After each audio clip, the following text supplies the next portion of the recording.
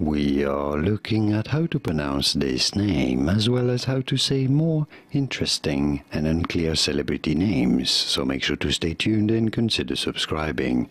He is an English actor and presenter originating from Manchester in the UK.